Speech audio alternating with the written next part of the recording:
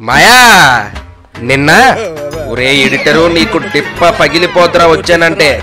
ఆ ఎక్కడున్నా? ఆ మాయా నిన్న పని మీద గణపవరం వచ్చాను. నేను వెళ్ళిన పని కన్నా ముందు నా పని అయిపోయింది. దగ్గరలో హోటల్ ఏమన్నా ఉందని వెతికితే ఈ రహీం ఫుడ్ కార్నర్ కనపడింది. నేను చికెన్ ఫ్రైడ్ రైస్ చెప్పాను. ఆ జీడిపప్పులు చూసావా? రే స్పూన్తో తిన్నావు ఆ చేత్తో తిను. ముత్తకో ముక్క జీడిపప్పు వచ్చింది. నేను ఇంకా టేస్ట్ అంటారా? ఒరే పచ్చిమిరపకాయ లోపల తోసేయి. తోసేయి. వచ్చింది లేవో ఈ జీడిపప్పు. టేస్ట్ చాలా బాగుంది. నెక్స్ట్ బిర్యానీ. బిర్యానీ కూడా చాలా బాగుంది. బిర్యానీ ఉత్తిగన్నా ఆ పక్కన గ్రేవీతో నంచుకుంటే ఇంకా బాగుంది.